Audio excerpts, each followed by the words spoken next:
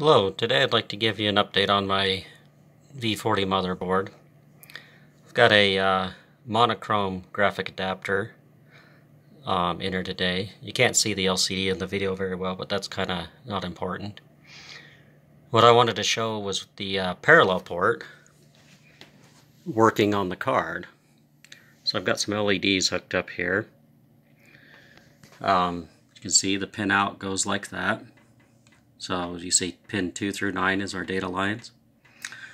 I wrote some code and we're using port 03BC and I'm just putting AL out on the port and then waiting a little bit and then looping forever.